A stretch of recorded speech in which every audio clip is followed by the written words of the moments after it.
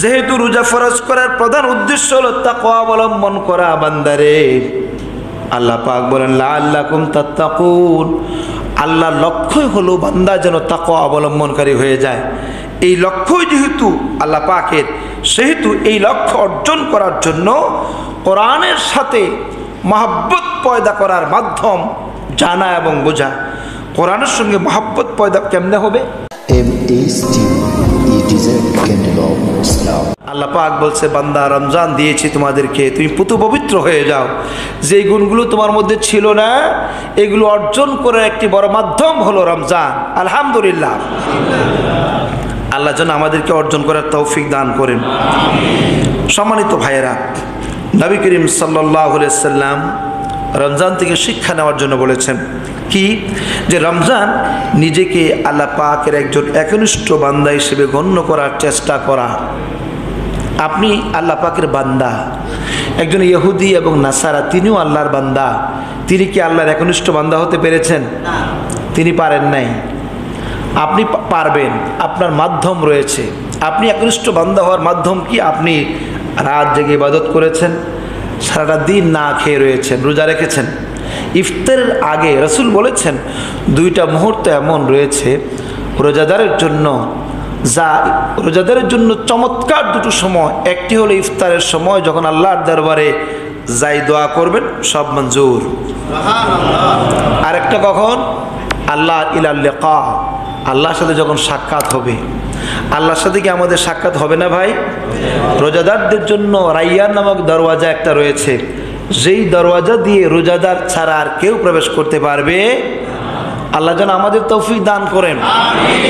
তাদেরকে তৌফিক দিবেন নাকি? যারা পর্দা করে দিনের বেলা খায়, দিবেন নাকি? এমন মুসলমান নাই? আশেপাশে দোকানেই তো আছে, পর্দা করে কি সুন্দর খাচ্ছে। আমি জানি কোথায় গিয়েছিলাম? এক মুরব্বী, দাড়িওয়ালা মুরব্বী। ও, সেদিন সুবাস্তু গিয়েছিলাম। তো সুবাস্তুর আগে একটা ব্রিজ আছে ব্রিজের পাশে কয়েকটা চা স্টল আছে, পর্দা দিয়ে সুন্দর করে খাওয়াচ্ছে। তো এমনি উকি দিলাম, ছোট্ট মেয়েকে নিয়ে গেলাম তো, মেয়ে পানি খেতে চাচ্ছে। তো ভাবলাম দেখি একটু পানি নেওয়া যায় কিনা, একটু দেখি মুসলমানরা খায় কেমন করে। তো মেয়ের উসিলায় একটু পর্দার ভেতরে ঢুকলাম, ঢুকে দেখলাম সব পাক্কা ইমানদার মুসলমান, দাড়িওয়ালা মুসলমানও আছে। নাওজুবিল্লাহ বলবেন না? আর আইয়ার নামক দরওয়াজা, যেই দরওয়াজা দিয়ে প্রবেশ করবে কেবলমাত্র রমজানের শ্যাম পালনকারী যারা তারা। সুবহানাল্লাহ বলেন, আল্লাহ যেন আমাদেরকে তৌফিক করে দেন। আল্লাহ যেন আমাদেরকে ওই দরওয়াজা দিয়ে যাওয়ার তৌফিক করে দেন। আমার ভাইয়েরা, রমজান এরপরে কি হলো? এই রমজান মোবারকে আপনি আকৃষ্ট বান্ধা হতে পারবেন। আল্লাহর সন্তুষ্টি অর্জন ছাড়া জীবনে আর কোনো দ্বিতীয় লক্ষ্য যেন আমার স্থির না থাকে। আমি রোজা রেখেছি, আমি নামাজ পড়েছি, আপনি কোরআন পড়েছেন, হজ করেছেন জাকাত দিচ্ছেন, এমনকি ফিতরা দিচ্ছেন, দান খয়রাত করেছেন। সন্তুষ্টি কার জন্য? আর কারোর জন্য নয় তো? আল্লাহ বলছেন, বান্দা, তুমি আমার জন্য হয়ে যাও। বান্দা, তুমি আমার জন্য হয়ে যাও। আপনার এই রমজান মোবারকে যত দান করছেন, সমস্ত দান হবে কার জন্য? মনটার, মনের ভিতরে অবস্থাটা জানেন কে? আপনি না জানতে পারেন আমার মনের অবস্থাটা কি। আমি না জানতে পারি আপনার মনের অবস্থাটা কি। আল্লাহ কি জানেন না?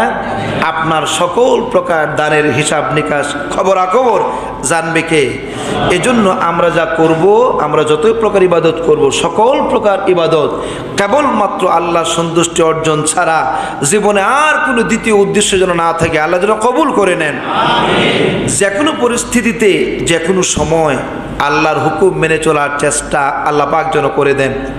যে কোনো পরিস্থিতিতে যে কোনো সময় আল্লাহর হুকুম পালন করা কি সহজ নাকি? যে কোনো সময় এবং যে কোনো পরিস্থিতির মধ্যে আপনি আল্লাহর হুকুমকে প্রাধান্য দিবেন। এটা কি অতি সহজ? কথা বুঝাতে পারি না আমি? না এত অতি সহজ নয়।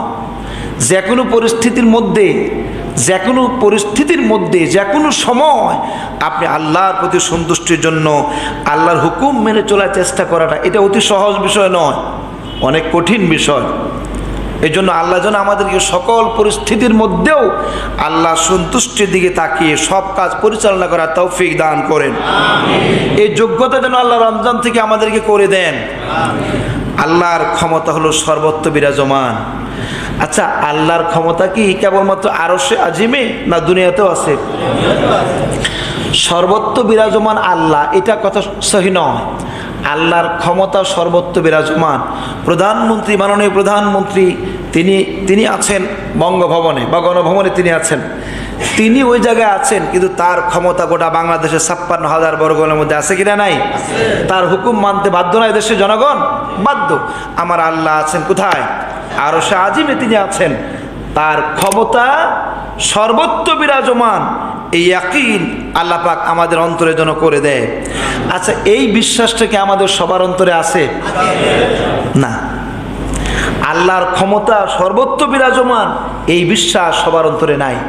সবার অন্তরে এই বিশ্বাস যদি থাকে, তাহলে এই রমজানুল মোবারকে রোজা রেখে মিথ্যা কথা কেউ বলতে পারে, ঠকাইতে পারে কারও কাউকে, কারও হক নষ্ট করতে পারে, কারও টাকা পয়সা লুটপাট করতে পারে, বোনের হক নষ্ট করতে পারে, মায়ের হক নষ্ট করতে পারে, সব হচ্ছে আমার দেশে। সুতরাং আরে করোনার মধ্যে যখন করোনা মানুষ ধ্বংস হয়ে যাচ্ছে, আত্মীয় স্বজন চলে যাচ্ছে, মন্ত্রী এমপি চলে যাচ্ছে, ঠিক সেই মুহূর্তে করোনা হাসপাতালের বিছানা কিনতে যায়, লক্ষ লক্ষ নয়, কোটি কোটি টাকা দুর্নীতি করেছে মুসলমানেরা। ঠিক কি না? তাহলে কি ভয় আছে? ভয় তো নাই। আরে এই যে করোনার বিছানাটা কিনলাম, ষাট হাজার টাকার বিছানা, দুই লাখ ষাট হাজার টাকা বাউচার দিলাম। এক লাখ বত্রিশ হাজার টাকার বিছানা, তিন লাখ বিশ হাজার টাকা বাউচার করলাম। এই বিছানার মধ্যে মানুষ মারা যাবে না? যাচ্ছে না? এই যে হাসপাতাল হলো, প্রথম দুই, তিন দিনেই মারা গেল দশ, পনেরো জন। লাশ বের হলো এখান থেকে।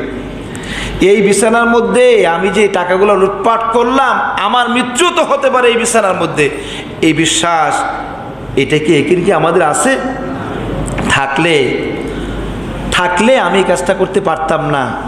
সম্মানিত ভাইয়েরা, দেখুন, আল্লাহ পাকের ক্ষমতা সর্বত্র বিরাজমান। এই বিশ্বাস সব কিছু তিনি সব কিছু শোনেন, তিনি সব কিছু দেখেন এবং তিনি সব কিছু জানেন। এই অনুভূতি সর্বদা অন্তরে জাগ্রত করার ব্যবস্থা আল্লাহ যেন আমাদের মধ্যে করে দেয়। বলি আমিন। আল্লাহ ছাড়া দুনিয়ার সব কিছুর কৃতিত্ব অস্বীকার করা সমস্ত কৃতিত্ব কার? এই সীমানা আমার আমার বাড়ি থেকে ভারত হলো মাত্র সাড়ে তিন কিলো দূর, তিন কিলো দূর। আমার গ্রামে আলহামদুলিল্লাহ কোনো করোনা রোগী নাই। তিন কিলো দূরেই দেখা যাচ্ছে শ্মশানে দাও দাও করে আগুন জ্বলছে। মুসলমানরা যায় দেখতেছে, আমাদের গ্রামের লোকেরা সীমানা যায়া দেখতেছে, শ্মশান দেখা যায় দাও দাও করে আগুন জ্বলছে। অথচ এই সীমানার যে ইয়ে আছে, কাঁটাতারের বেড়া আছে এই বেড়ার এই পারে কোনো কান্নাকাটি নাই, কোনো করোনা রোগী নাই, কোনো হাসপাতাল নাই। আমাদের গ্রাম থেকে শহর হলো বারো কিলো দূর। এই বারো কিলোর মধ্যে কোনো হাসপাতালই নাই প্রত্যন্ত অঞ্চল। এই লোকগুলো যদি করোনা আক্রান্ত কোথায় নিয়ে যাবে? কাটাতারের ওই পারে কান্নার রোল। মানুষের আগুনের দুর্গন্ধ। এই গ্রামের মুসলমান, আমরা আমাদের বাংলাদেশের গ্রামের লোকেরা দুর্গন্ধে টিকতে পারছে না। মানুষ মরলে মানুষকে পুরালে এটা গন্ধ হয় না? গন্ধ হয় কিন্তু। আর যদি একই জায়গায় যখন শত শত মানুষের লাশ পোড়াবে তখন তো এটা গন্ধে একেবারে সেয়ে যাবে। এই গ্রামের লোকেরা গন্ধে কষ্ট পাচ্ছে।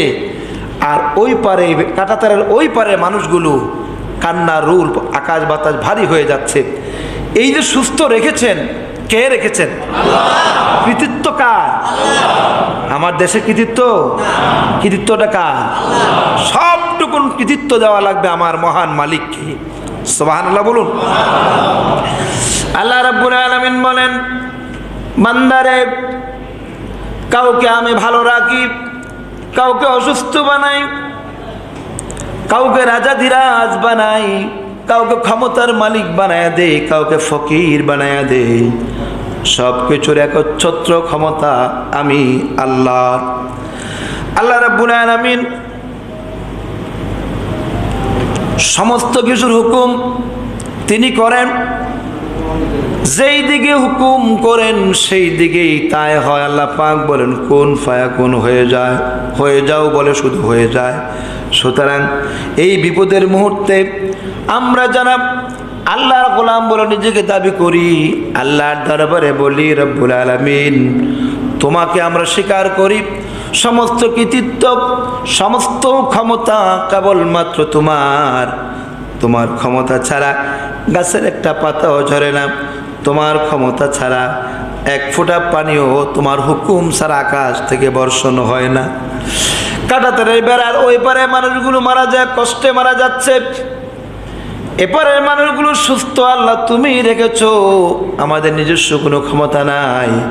সে রব্বুল আলামিন বলেন, বান্দারে এই রমজানুল মোবারকে তোমরা যারা আল্লাহর হুকুম যারা পালন করতে পারতেছো, তোমরা যারা আল্লাহর হুকুম পালন করতে পারতেছো, জরুরি ভিত্তিতে, শর্তের ভিত্তিতে আল্লাহ রাব্বুল আলামিন তোমাকে সৌভাগ্যবান বানাবেন।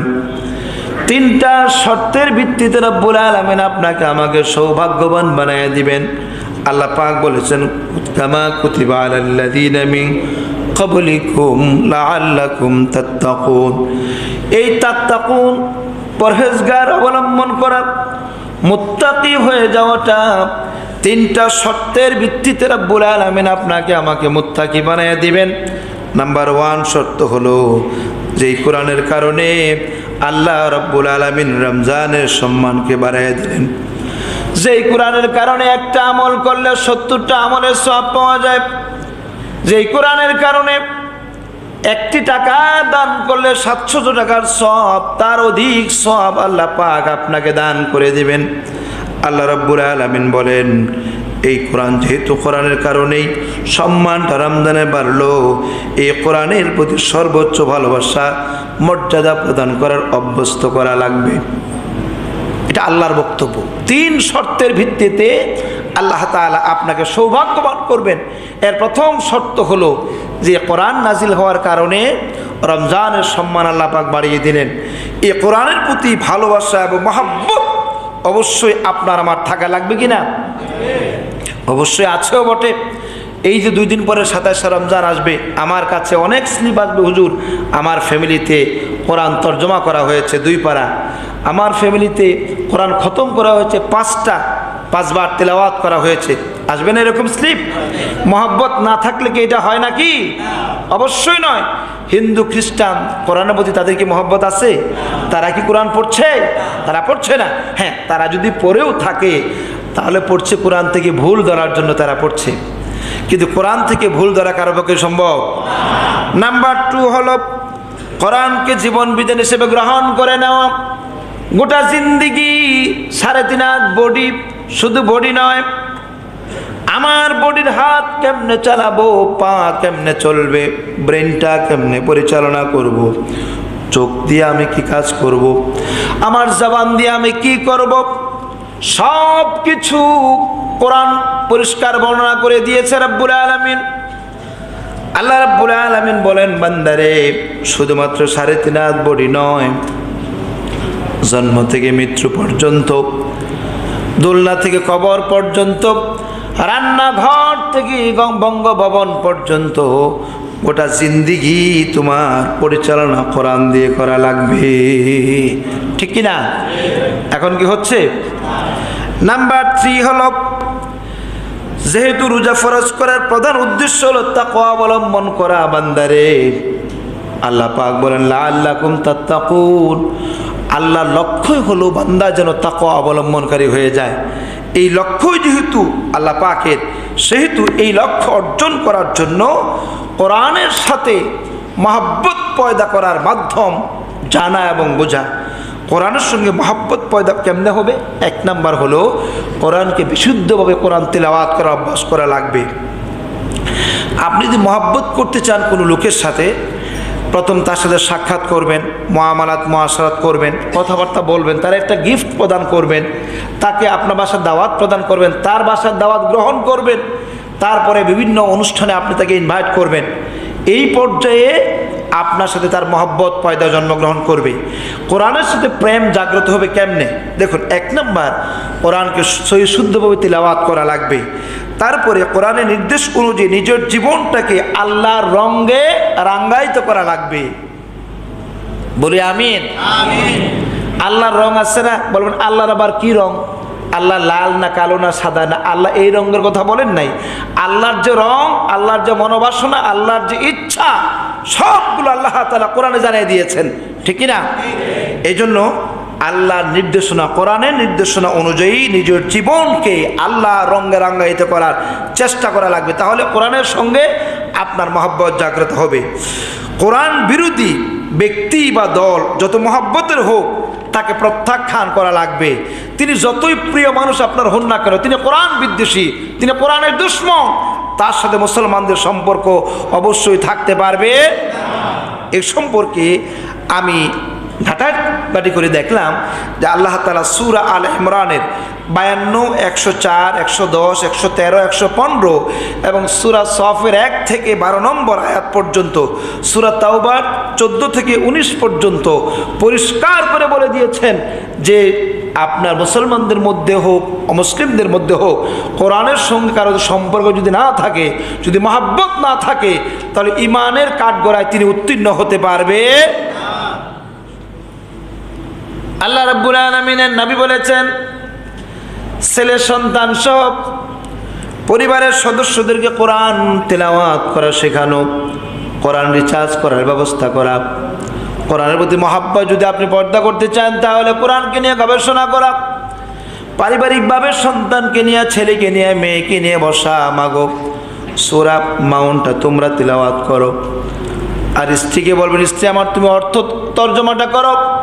আপনি তাফসিরটা পড়বেন, সুরা মাউনে চার পাঁচটা আয়াতের মধ্যে রব্বুল আলমিন আপনার জিন্দিগির সব কিছু বর্ণনা করে দিয়েছেন। আপনার খুঁটিনাটি জীবনটা কেমন হবে? আপনি নামাজটা কেন পড়বেন? কীভাবে পড়বেন? নামাজের শৈথল্য প্রদর্শন করলে কেমন কি আজাব হবে? নিত্য প্রয়োজনীয় জিনিসপত্র যদি আপনি মানুষকে না প্রদান করেন, তাহলে শাস্তি আপনার কি হবে? সব কিছু বিষয়গুলো পুঙ্খানুপুঙ্খরূপে আলোচনা করা হয়েছে। যখন একটি সুরার তর্জমা এবং ব্যাখ্যা পারিবারিকভাবে পড়া হবে, তাহলে আমার মধ্যে বা আমার সন্তানের মধ্যে যদি কোনো ভুল থাকে, সংশোধন হয়ে যাবে না? সমাজ এবং রাষ্ট্রে কোরআন প্রতিষ্ঠার সংগ্রামে শরিক হওয়া লাগবে। আল্লাহ নবী বলেছেন, এই রমজানুল মোবারকে দ্বিতীয় হিজড়ির সতেরোই রমজান কোরআন প্রতিষ্ঠার আন্দোলনে সাহাবাহাম বাতিলের সঙ্গে সংগ্রাম করে শাহাদাত বরণ করেছেন।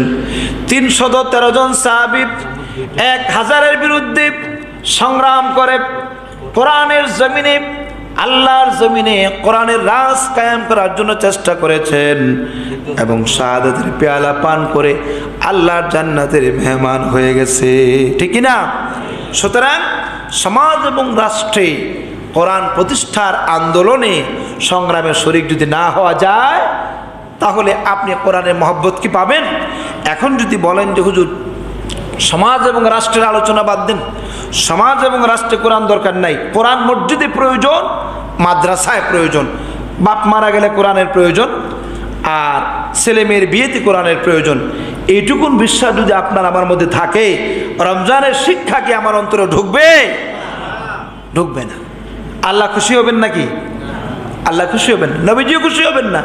কারণ নবী করিম সাল্লাহ সাল্লামের জীবন জিন্দিগির তেষট্টি বছরের মধ্যে আমরা গবেষণা করে যা পেলাম, মদিনা রাষ্ট্র প্রতিষ্ঠার কারণেই মোহাম্মদ সাল্লাহ সাল্লাম সম্মানিত হয়েছিলেন এবং মদিনা ইসলামিক স্টেট কায়াম করার মাধ্যমে কোরআনের রাষ্ট্র প্রতিষ্ঠা করার কারণেই নবী করিম সাল্লা সাল্লাম বিভিন্ন প্রতিবন্ধকতার শিকার হয়েছিলেন।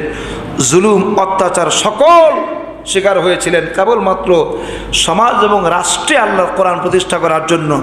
এখন আপনি এবং আমি যদি না পারি, সেটা ভিন্ন জিনিস। কিন্তু ইমান এবং আকিদা পরিষ্কার থাকা লাগবে যে সমাজ এবং রাষ্ট্রে আল্লাহর কোরআন ভিত্তিক সমাজ ব্যবস্থা প্রয়োজন আছে কিনা নাই। এই সংকট কোথায় বলেছেন আল্লাহ? সুরা আল ইমরান। বায়ান্ন একশো চার, একশো দশ, একশো তেরো, একশো চোদ্দ, একশো পনেরো, সোরা তাওবার চোদ্দ, পনেরো, উনিশ, বিশ। এই সমস্ত আয়াতে আল্লাহ তারা পরিষ্কার করে বলে দিয়েছেন, সমাজে এবং রাষ্ট্রে আল্লাহ পাকের হুকুম প্রতিষ্ঠিত করতে না পারলে পরিপূর্ণ ইমানদার হয়ে নিজেকে সমাজে পরিচয় দেওয়া যাবে না এবং বাস্তব জীবনও শান্তির আশা মোটেও করা যাবে না।